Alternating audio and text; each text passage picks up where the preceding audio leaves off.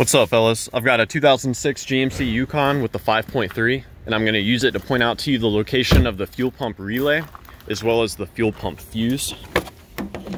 So your fuel pump relay is gonna be this one right there. Real simple to remove. You just kind of rock it a little bit and it will come right out. The fuse for the fuel pump, it's gonna be a 20 amp fuse right next to it. So that's that right there. And if your Yukon is equipped with dual tanks, if you got two fuel tanks, this 15 amp fuse provides power to the other fuel pump relay. Now, if you suspect that there's an issue with your fuel pump relay here, a good relay to swap it with would be this relay, which is your horn relay. If your horn works, you know the horn relay works, and it would be a good thing to swap with to troubleshoot. So yeah, I hope this was helpful for you guys. Let me know if you have any questions or any advice about troubleshooting the fuel pump on your Yukon.